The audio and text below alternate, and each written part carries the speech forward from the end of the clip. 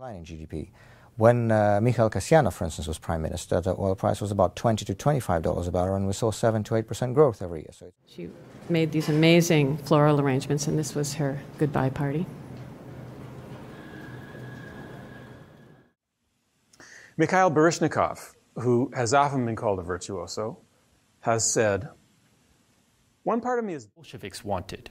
General Mikhail Frunze, the Red Army commander in the region and member of the governing commission, soon ousted power during the Cold War. But when communism began collapsing in Eastern Europe in the late 80s, Soviet leader Mikhail Gorbachev stood by.